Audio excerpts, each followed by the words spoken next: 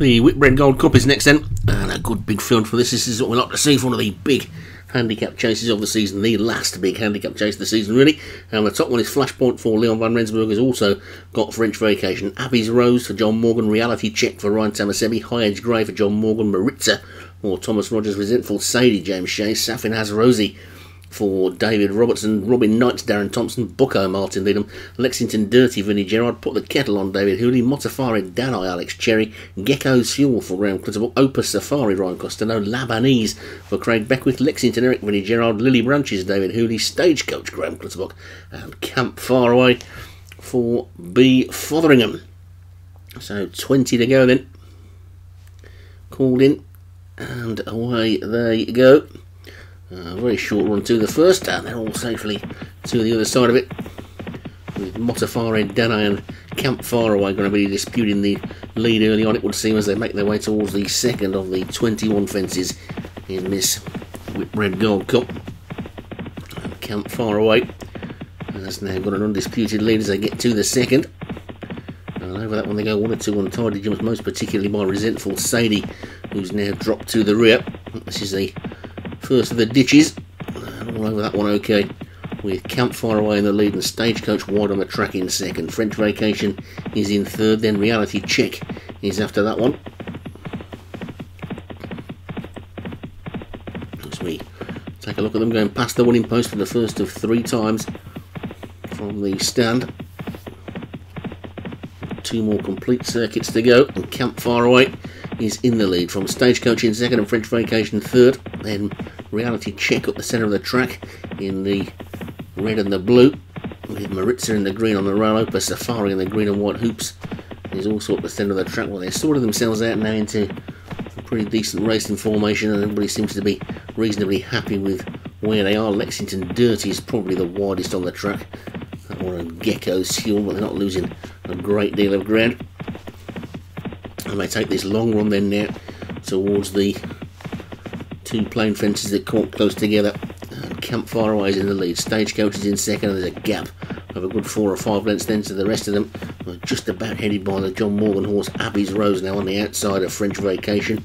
Maritza on the rail in the green, the green and white of Opus Safari put the kettle on, is tucked in behind them, and then High Edge Grey and Lexington Eric and Gecko's Fuel and Lily Branches, then Motafari Dano on the rail as well, with Reality Check Robin Knights and Flashpoint next. They finally get to the fourth, and over that one, one or two mistakes. Lexington Eric, most particularly, as they get to the next, and they all got over that one okay though.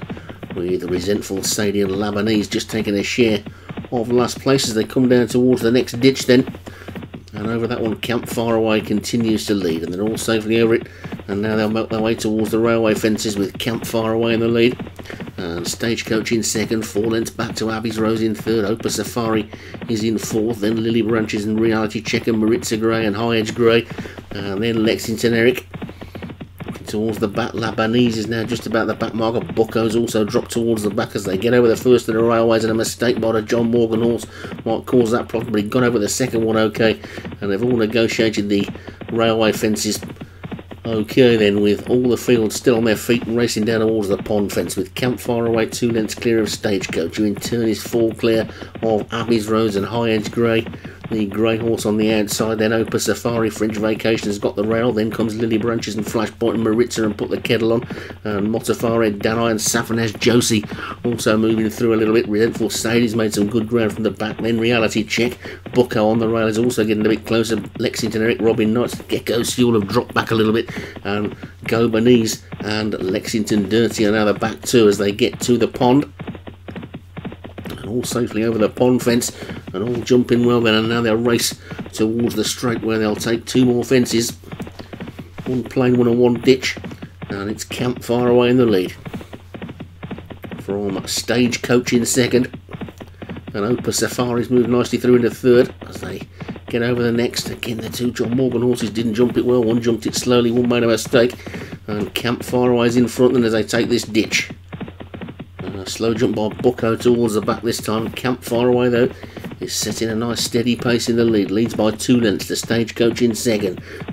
Three lengths back is Opus Safari as they come up past the Warning post then with one more circuit to go, and it's campfire away for B Fotheringham that leads the Whitbread field from Stagecoach in second. Opus Safari is third, and French Vacation is four. Abbey Rose is five, Maritza is six, and then put the kettle on seven.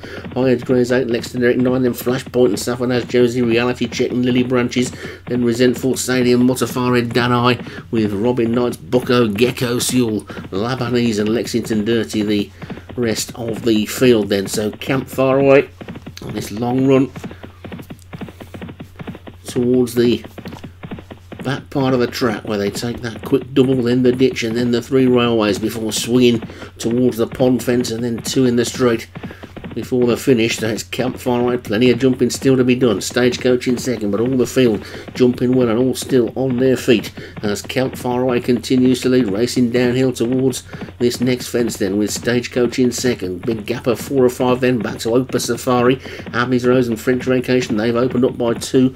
Lexington Eric is now trying to lead that pack, although Flashpoint is coming out of it as well as they race down towards this double then now with little more than a mile to go after that real long run between fences and they get to this one and they're all safely over that one as well with Campfire Away getting over the second part of it with a good clear lead now. Opus Safari has jumped through into second as Stagecoach just hits a bit of a flat spot. French Vacation is third. Abbey Rose is four and then Flashpoint is five as they come down to this ditch. Over the ditch they go. The leader jumped it a little bit slowly this time and is still in front though by two lengths to Opus Safari in second. Stagecoach is in third. Then come the Leon Van Rensburg pair. French Vacation and Flashpoint. Abbey's Rose is next. Then Safin has Josie making good ground. Lily Branches is getting into it. So too is Gecko Seal as they come down towards the railway fences then now for the final time. And over the first one of them they go. They're all safely over that one and they come down to the second and it's still... Oh, there's a faller there. Is a crashing fall for Stagecoach. Stagecoach has gone and another one's down. It's the John Morgan horse. Giant High Edge Grey. So Bit of drama at the railways then, and suddenly Safanaz Josie has burst into the lead as they come down towards the pond fence. It's Safanaz Josie who's now suddenly found himself in the lead by about three lengths from Gecko Sewell in second. Then comes Campfire away the long time leader, now back in third. Then Flashpoint Opus Safari. Then Maritz. It's difficult to see anything else getting into this now. Safanaz Josie may way have stolen this over the railway fences, coming down towards the pond now. Then just three to jump in the whip Whitbread, and Safanaz Josie gets over it and gets away from it really well from Gecko Fuel in second. Campfire Eyes back in third. Flashborn four, then Opus Safari. Nothing else in shot as they come down there towards the Second last fence. This is the final plain fence. The ditch is the final fence. They're coming out towards it now. Then Safanas Josie is well clear. Gecko Stewart is beginning to close though, but didn't jump that one too quickly. Campfire away trying to stick on in third, but I don't think we need to take much interest in the rest of them.